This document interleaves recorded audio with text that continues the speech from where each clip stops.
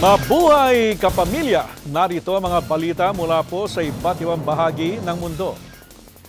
Pinasa ng House of Representatives o pinasa ng House of Representatives sa Estados Unidos ang isang amendment sa kanilang batas na layong pigilan ang anumang assistance o tulong sa Philippine National Police hanggat hindi nagagawa ang ilang human rights requirements. Nagpapatrol TJ Manoto. Sa unang pagkakataon sa bagong administrasyon ni President Ferdinand Marcos Jr., kumilos ang US Congress at pinasa ang isang amendment sa batas na hangad pigilan ng US assistance sa Philippine National Police o PNP.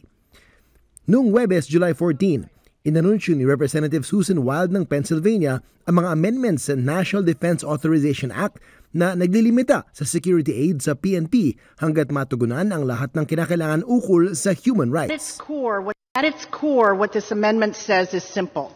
After an estimated 30,000 extrajudicial killings in the Philippines between 2016 and today, after the assassinations, arbitrary arrests, torture, and red tagging of labor organizers and opposition leaders, the time is long overdue to begin putting some basic human rights guardrails in place in the United States-Philippines relationship.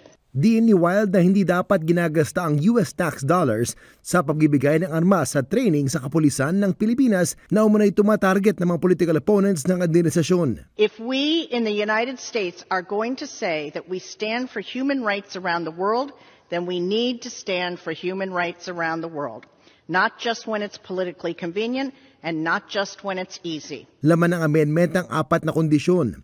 Una, maimbestigahan at makasuhan ang mga miyembro ng PNP na lumabag sa human rights. Dapat ding masiguro na ang PNP ay gagalangin at poprotektahan ang mga karapatan ng mga mamamahayag, trade unionists, human rights defenders at lahat ng kritiko ng gobyerno. Kailangan din ng mga hakbang para magarantiya ang isang judicial system na may kakayahan na imbestigahan at kasuhan at militar na lumabag ng karapatang pantao at lubos na sumunod sa National at US Audit ukol sa tamang paggamit ng pondo ng security assistance. Para sa mga advocates at aktivista na matagal nang humihikayat sa US Congress na umaksyon, isa itong malakas na mensahe sa bagong administrasyon ng Pilipinas. And what's important to that, um, as someone who is from the United States um, and representing many organizations across the US um, who are advocating for legislation on the Philippines, is the fact that we don't want our tax dollars um, as US uh, uh, citizens going to human rights violations in the Philippines. Dagdag pa ni Miller na dapat pa rin itong sundin bagamat imposible para sa iba ang ilang hiling sa mga amendments at abot ng matagal na panahon lalo na ang paghabol ng hustisya para sa lahat ng biktima ng pag-abuso sa huling anim na taon.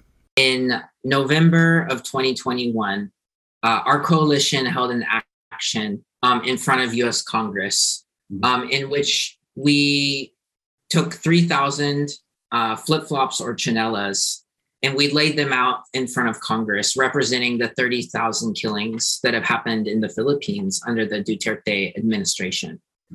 Um, and so for us, every single one of those uh, lives taken um, deserve justice um, and deserve due process. For some, uh, the amount of time it might take for this uh, is a lot.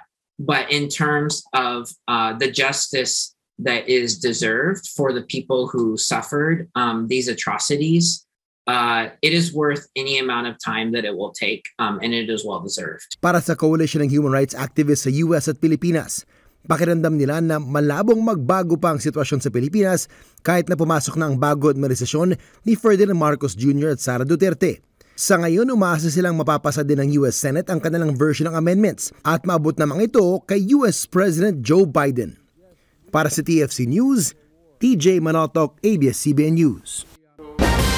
Pinag-aaralan ngayon ng Department of Foreign Affairs ang posibleng pagbubukas ng Consulate General's Office sa Winnipeg, Canada. Ito ay matapos sinumagda ang libu-libong Filipino-Canadian sa Manitoba sa isang change.org petition. Nagpapatrol, Rowena Papasin. Makaraan ang tatlong buwang pagkakatigil dahil sa halalan noong Mayo at mga aktibidad para sa Filipino Heritage Month noong Hunyo, sinimula na ulit ng Philippine Consulate General sa Toronto ang consular outreach services nito sa Winnipeg. Daan-daan ang nagpa-appointment para makapag-renew ng pasaporte, mag-apply para maging dual citizen at mag-request ng iba pang serbisyo sa tatlong araw na consular outreach kamakailan. Habang nasa Winnipeg, pinamunuan din ni Toronto Consul General Orontes Castro ang panunumpa ng maraming mga kababayan na gustong maging Filipino citizens ulit. Alam na alam natin na mahal na mahal nila uh, that the Philippines is still in the heart of these Filipinos, uh, former Filipino citizens who are reacquiring Philippine citizenship. Ayon sa PCG Toronto, nakapagbigay sila ng pasaporte at dual citizenship, civil registry at notarial services sa mahigit na isang libo at tatlong daang overseas Filipinos matapos ng kanilang outreach. Dagdag pa ni Castro, kahit kailangan dito ng appointment, pinagbigyan pa rin nila ang mga walk-in. We have prioritized yung mga senior citizens natin sa serbisyo, no need for them to request for an appointment. They can come to us. Ito yung mga senior 60 and above. Uh, kasama din yung mga PWDs at even yung mga pregnant uh, kababayan natin, no? women na kababayan natin at yung mga maliit na bata, no? we are giving them priority. Dati ay may sariling Consulate General's Office sa Winnipeg pero isinara na ito. Ang serbisyong konsular ay ipinagkakaloob na ngayon ng Toronto PCG. Pero noong matigil ang mga outreach sa Winnipeg dahil sa pandemya, nagpetisyon ang isang grupo ng mga Pinoy para magkaroon sila ng sarili nilang consulate office para yung mga nangangailangan ng agarang passport renewal at iba pang serbisyo ay hindi na kailangang lumipad pa sa iba pang lugar ng Canada. Ayon kay Conjen Castro, pinag-aaralan na ng DFA kung kakayanin nitong pagbigyan ang hiling ng mga kababayan pero ipinahiwatig niyang magiging matagal ang prosesong ito. May mga proseso po yan kasi uh, mga, kung mga ngailangan po yan ng tinatawag na uh, yung tinatawag na budget, magkakaroon ng ano yan, mga proseso. So dadaano yan sa Kongreso. So uh, sa amin po, kami po ay naipadala na po namin yan since last year. Tiniyak ni Castro na tutulong ang PCG Toronto na mabuksan ang isang Career Consulate General Office sa Winnipeg sakalit maaprubahan ito. Tinatayang halos isandaang libo na ang bilang ng mga Pilipino sa Manitoba. Sa ngayon, meron lang isang honorary consul na nakatalaga sa Winnipeg at limitadong serbisyo lang ang naipibigay nito. Para sa TFC News, Rowena Papasin, ABS-CBN News, Canada.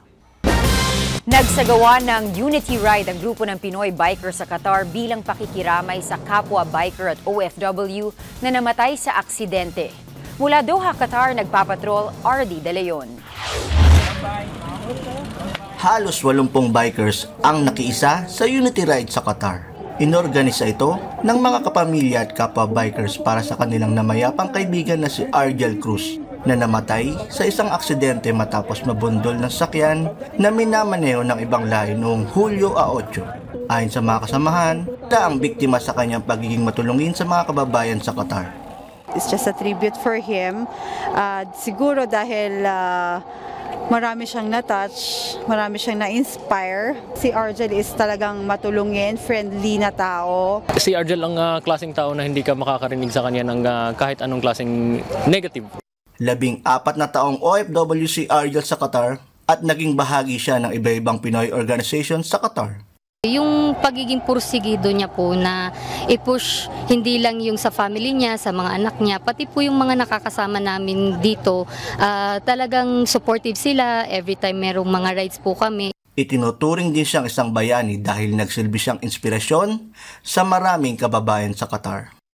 Nung tinamaan ng Pilipinas ng Bagyong Yolanda, nag-organize siya ng isang grupo para mag likom ng mga relief goods at impake namin. Lagi talagang uh, mapagkumaba kahit na saang saang uh, sitwasyon ka sa buhay. Kahit na gaano ka taas ang naabot mo. super thankful sa pagmamahal nyo sa asawa ko. Nagulat kasi ako kung gaano kadaming nagmamahal talaga sa asawa ko. Bagamat wala na si Argel, nakaukit sa kanyang mga kaibigan at pamilya ang kanyang mga magagandang alaala. Para sa TFC News, RD De Leon, ABS-CBN News, Doha, Qatar. At yan ang ating mga balita mula po sa iba't ibang bansa hatid ng TFC News. Para naman po sa mga balita mula sa ibang panig ng mundo, maglagon lamang sa news.abs.cbn.com slash tfcnews. Maraming salamat, kapamilya!